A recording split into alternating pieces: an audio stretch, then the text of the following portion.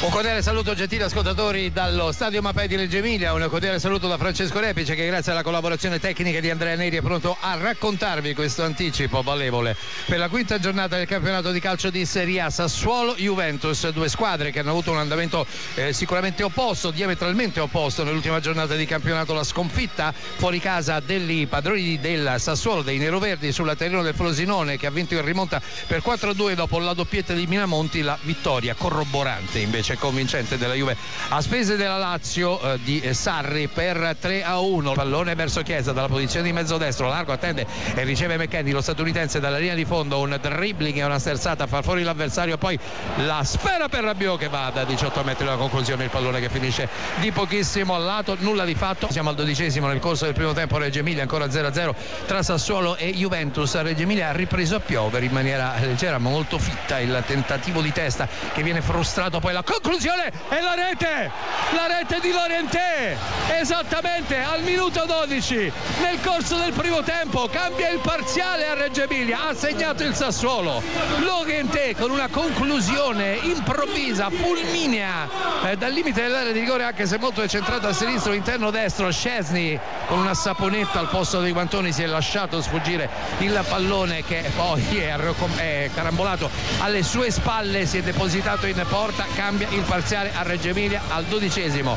È in vantaggio il Sassuolo per 1-0 la rete di Lochetè più 3 per la Virtus Bologna 8 minuti ha pareggiato la Juventus esattamente al minuto 21 nel corso del primo tempo ha pareggiato la Juventus potrebbe trattarsi forse di un'autorete di un giocatore del Sassuolo potrebbe essere stato Vigna che nel tentativo di intervenire su una cross di Chiesa verso il palo opposto quello destro dove stazionava McKendy ha spinto forse il pallone nella sua porta vi saremo eh, più precisi nel prossimo collegamento per il momento vi confermiamo che è cambiato il parziale a Reggio Emilia che Sassuolo e Juventus ora sono sull'1-1 la linea può tornare a Massimo Borchesi Grazie a Francesco Rebic. Un'autorete di Vigna sull'incombere di McKenny all'altezza del secondo palo. C'è la Juve in avanti con Dusan Vlaovic, prova a saltare un avversario servito in area di rigore. Proprio il compagno Locatelli che va alla conclusione. Il pallone che finisce sul fondo di pochissimo. Buona, dobbiamo dire, l'azione della Juve tutta in verticale in questa occasione. Corner battuto corto proprio per l'Orienté da Bairami. L'Orienté che prova a sconcertare con le finte. Biretti ci riesce, va al cross al fondo. Attenzione, colpo di testa, gran parata di Scesni che evita il raddoppio del Sassuolo è stato tre soldi a colpire sostanzialmente da pochi metri il pallone l'aveva anche dobbiamo dire destinato in maniera abbastanza precisa e violenta all'altezza del secondo palo quello alla destra del portiere bianconero che è riuscito tuttavia con un guizzo a respingerlo e quindi ad evitare la seconda capitolazione della sua porta. Gatti sbaglia il lancio Enrique ne approfitta fa fuori Locatelli con un dribbling a rientrare anzi si trattava di Miretti va al limite Berami il ragazzo di Calabria. Domenico Berardi raddoppia per il Sassuolo all'altezza del 41esimo minuto. Cambia ancora il parziale a Reggio Emilia. Berardi ha raddoppiato per il Sassuolo splendido. Il gol del numero 10 nero verde con il sinistro venendo incontro al pallone all'altezza del limite dell'area di rigore cercando e trovando il palo più lontano lì dove Scesni non poteva arrivare. Ed infatti non c'è arrivato. Ed infatti ora il Sassuolo quando siamo giunti al 41esimo minuto nel corso del primo tempo conduce per 2 a 1 sulla Juventus ha raddoppiato Domenico Berardi. L'aveva detto Massimiliano Allegri alla vigilia di questa partita, attenzione sarà una partita complicata e lo dimostrano i fatti, visto che la Sassuolo conduce per 2-1 sulla Juve, è stato Domenico Berardi a messa era segno un gol dobbiamo dire molto bello, anche se la Juve deve un po' criticare se stessa per aver perso un pallone nella zona nevralgica del campo a ridosso della sua area di rigore in un tentativo di palleggio mal riuscito e quindi pallone stesso che Enrique ha messo bene in mezzo, dobbiamo dire, per Berardi dopo aver saltato Miretti con un dribbling a rientrare e poi il sinistro del numero 10 del ragazzo di Calabria che non ha lasciato scampo. A Wojciech Szczesny vediamo chi parte il fischio dell'arbitro. Si posiziona Vlaovic si posiziona anche Chiesa parte la sua rincorsa il tiro raso terra pallone che filtra ma finisce al lato rispetto al montante destro della porta difesa da Cragno. Non c'era il coccodrillo altrimenti sarebbe stato facile per lui andare a respingere questo pallone ed invece si è alzata la barriera del Sassuolo immaginando la traiettoria e la parabola alta sulla barriera stessa del giocatore della Juve che è andato con il rasoterra, pallone che però è andato al lato e quindi nulla di fatto. Reggio Emilia, Sassuolo, Juve.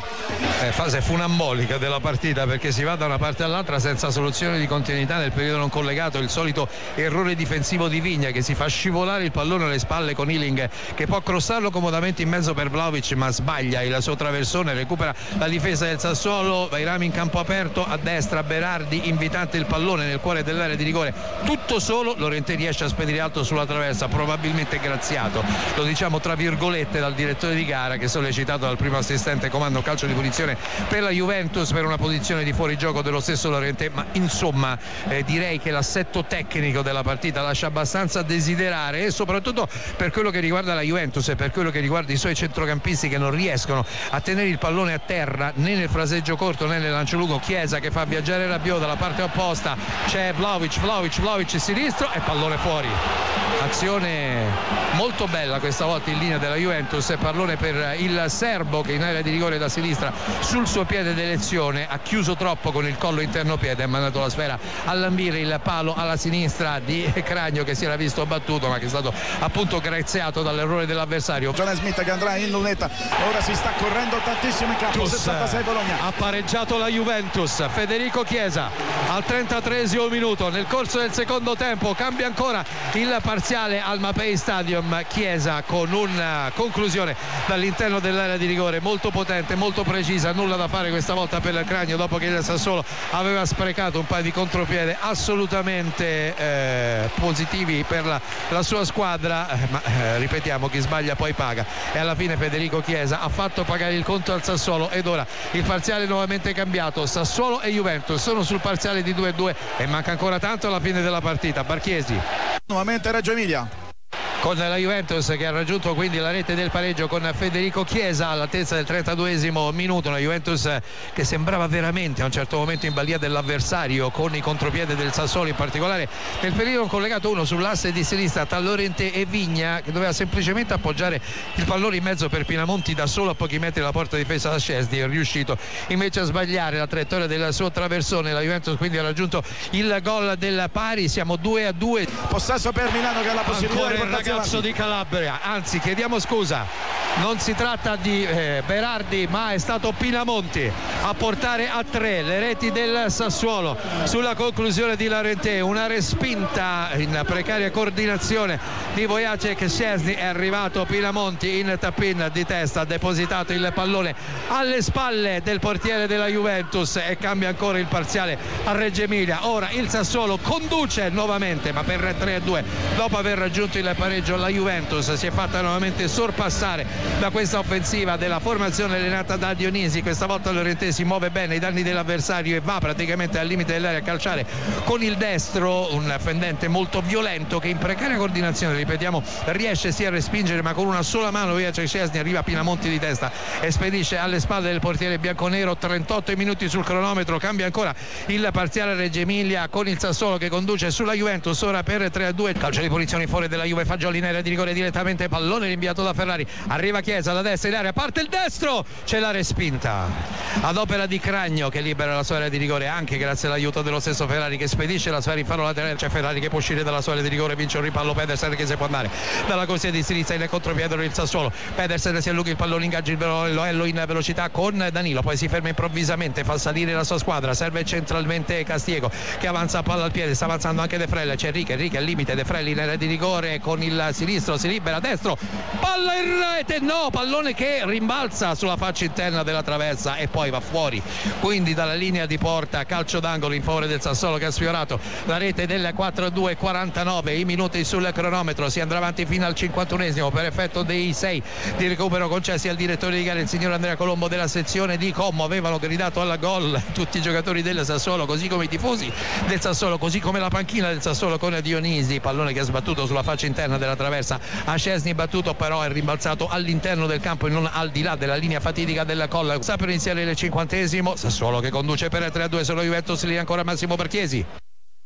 La Virtus Bologna è la prima finalista della Supercoppa italiana appena terminata la gara contro l'Olimpia clamoroso, Milano. clamoroso autogol eh? clamoroso autogol della Juventus clamoroso autogol di Gatti che chiude la partita. Incredibile quello che è successo. Pallone rimesso in area di rigore dal, fuori dall'area di rigore dal fondo da Scesni che è rimasto però fuori dalla porta. Gatti gliel'ha restituito non si era accorto che Scesni era fuori ha depositato nella sua porta il Sassuolo è avanti per 4-2 la partita praticamente finisce qua. 51esima Reggio Emilia il Sassuolo che conduce sull'Eventus per 4-2 incredibile. La quarta rete dei padroni di casa che l'avevano sfiorata pochi istanti prima per la verità con una traversa clamorosa interna colta da De Frel la rimessa al fondo in fuori della Juve dopo il calcio d'angolo Scesni che la dà eh, fuori dall'area di rigore per Gatti Gatti che gliela restituisce all'indietro ma Scesni che era rimasto a largo diciamo così della sua porta sul settore di sinistra pallone che è andato lentamente ma inesorabilmente in porta.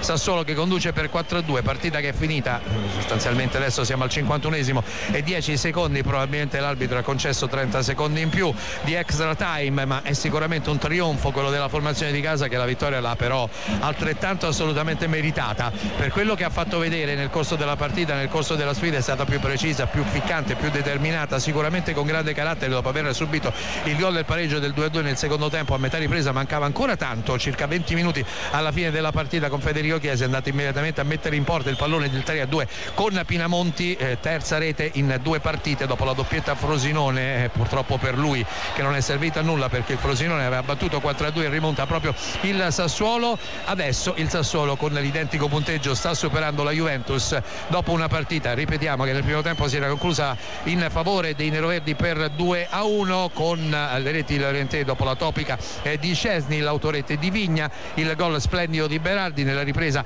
Il pareggio ad opera di Federico Chiesa poi è arrivato il 3-2 di Pilemonti e poi è arrivata l'incredibile autorete questa volta di Gatti che è depositato nella sua porta quando Scesni era lontano all'interno dell'area di rigore. L'arbitro in questo momento sta guardando il cronometro si continua a giocare il pallone che danza all'altezza della tre quarti di campo eh, della eh, Juve con Berardi. Un gioco di prestigio viene fermato eh, da Rabiot. Ecco piuttosto da sottolineare la prova paga del francese che quest'oggi avrebbe dovuto prendere in mano la sua linea mediana una linea mediana abbastanza inesperta tutto sommato. Ci sono dei ragazzi come Miretti come Fagioli è finita qui il Sassuolo ha battuto la Juventus per 4 a 2 vi abbiamo già detto della successione delle reti e questa la prima sconfitta della Juventus in campionato battuta d'arresto abbastanza pesante per i bianconeri di Massimiliano Allegri. Grande reazione invece del Sassuolo dopo la sconfitta con il medesimo risultato per 4 a 2 Frosinone a me non resta che ringraziare per la preziosa collaborazione